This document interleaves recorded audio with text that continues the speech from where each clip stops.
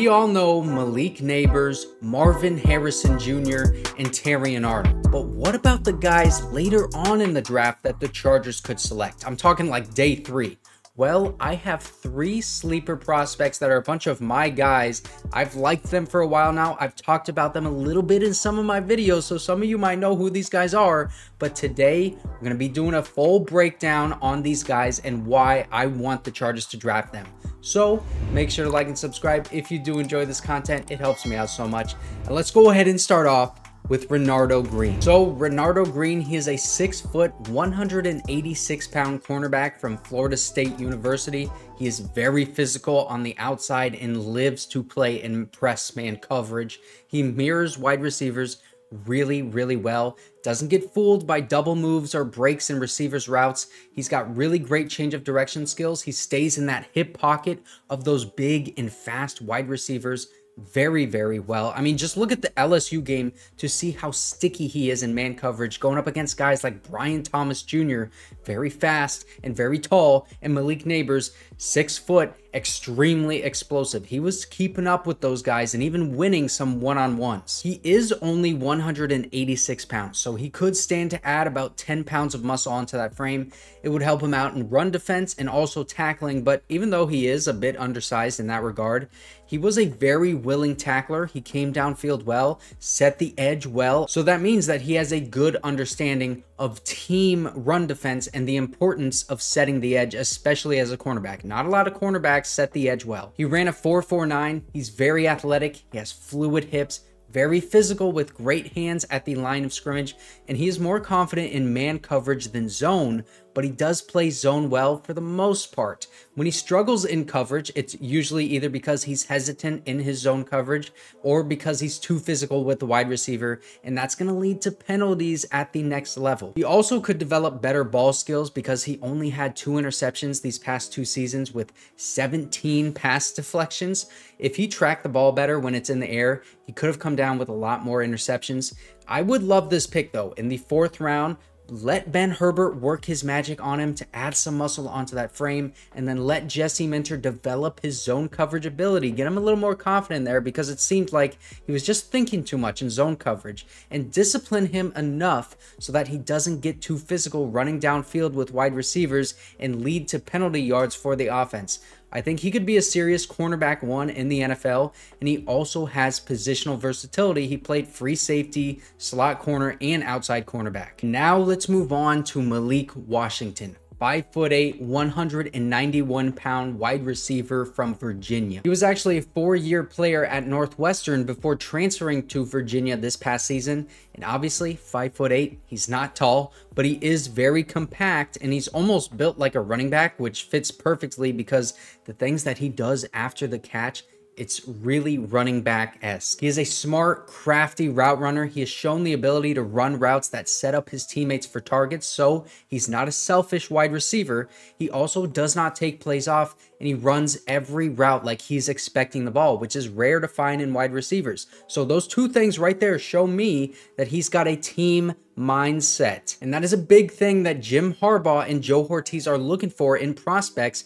The guys that have that mindset of wanting the team to win. They've always said it's team, team, team. He was used in the backfield and in motion a lot at Virginia and even threw the ball at times. So he's a player that you can like line up all over the field and motion often with that added threat of even throwing the football. His biggest asset, though, it's his YAC ability. He is so agile and so elusive after the catch, and he's got a great feel for the field and manipulating defenders into his teammates to set up blocks. He also has a great feel for route running, and he's good at finding the soft spots of a defense and sitting in them for a catch. And speaking of catching the ball, he was one of the most reliable targets in college football last year. He only had three drops on 138 targets, and in his career, he only has six drops on 321 targets. On top of that, his contested catch rate is 64.7%, which is absurd for a 5'8 wide receiver with short arms, by the way. But it makes sense because you look at his vertical leap, he had a 42.5 inch vertical leap, which is 99th percentile for wide receivers. He was 12th in college football last year in contested catch rate, also second in receiving grade and second in offensive grade behind only Malik Nabers, the only other better Malik wide receiver in this draft. He isn't crazy fast and he does struggle against some physical press coverage. And also, he didn't really run a full route tree when he was at Virginia. A lot of the time, it's just kind of like five yard outs, and then sometimes they would make like five yard out and then go right down the field. Just kind of a variation of an out route. That's what he ran mostly. But those out routes we saw with the Chargers offense this last year, and I know it's a new coaching staff, but still, when you get a wide receiver that can just run those five yard outs on like a third and four, and you have a quarterback like Justin Herbert who can sling that thing out there faster than the cornerback can react to that wide receiver breaking to that out route, you have a good chance at getting a first down. And with a guy like Malik Washington, who has shown the ability to run that route at a high level and also has shown the ability to catch the ball at a very high rate, that's a recipe for a bunch of first downs. This is a wide receiver that has shown a lot of good stuff on tape. Yes, the height is a concern. The physicals aren't great outside of that vertical leap. He's not a blazing fast wide receiver. He's like a, I think a 4.47 40 is what he ran. But I don't think we should overlook his positives just because we're focused on his weaknesses and his height. Joe Hortiz said, Tell me what a player can do. And what Malik Washington can do is give you a ton of yards after the catch, be a dynamic slot wide receiver, and catch the ball consistently. I mean, just do you remember how many Chargers were dropping the ball last year? Just that alone, Malik Washington could be had in like the fifth round, and he's not going to be dropping balls. So that alone is worth the pick, in my opinion. And also, if Malik Nabers or Marvin Harrison Jr. are the pick at five, I don't think it stops the, the Chargers from taking a wide receiver on day three in the draft. They could certainly double dip at that position. They need the depth, but I think they could double dip at a lot of positions here, like wide receiver, cornerback, offensive line, even defensive tackle. And now let's move on to my last sleeper, Frank Gore Jr., the 5'8, 201 pound running back from Southern Mississippi. Now, we all know Frank Gore Jr. because of his dad, Frank Gore, who was the workhorse running back for Jim Harbaugh and Greg Roman in San Francisco. I think the connection here it's very real, and this is the most likely sleeper to be drafted by the Chargers, in my opinion. This guy just runs exactly like his father. He's got great contact balance, really good patience to allow lanes to open up in front of him, and he is a downhill runner. He's also shifty and dangerous once he gets into the open space. He's got a nice little mm, juke move that consistently made guys miss in the open field. And I know the level of competition wasn't great at Southern Miss, but still, he's making guys miss a lot. And speaking of making guys miss, he had the third most missed tackles forced in college football at 67, and he also had the third most yards after contact with 824 yards.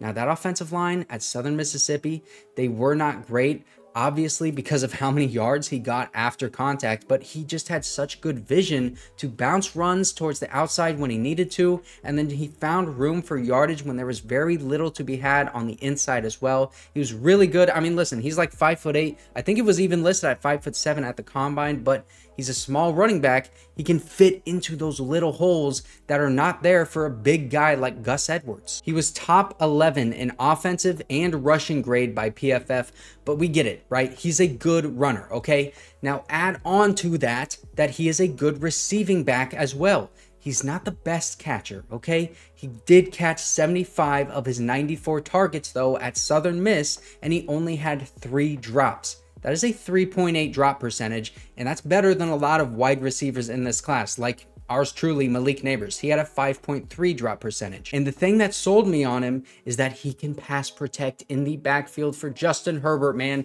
He had a 97.5 pass blocking efficiency this past season, and I saw plenty of plays on tape where he was able to give his quarterback time. So drafting Frank Gore Jr.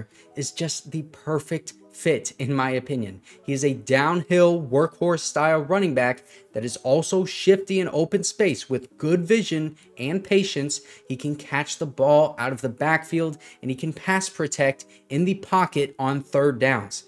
That sounds like a three down running back to me. And his concerns, listen, they are obvious, all right? He's not the most athletically gifted guy in terms of explosiveness, speed, and size. I mean, just look at his RAS score. It's not good.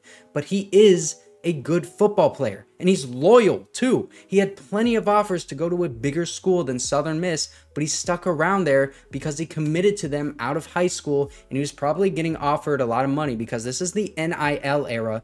Those college football players, they are getting paid now. He is a perfect fit as a running back in this offense for Greg Roman, just like his father was. He was in the locker room with Jim Harbaugh when he was a kid, so I'm sure both of these guys would love to reunite and play together in the NFL.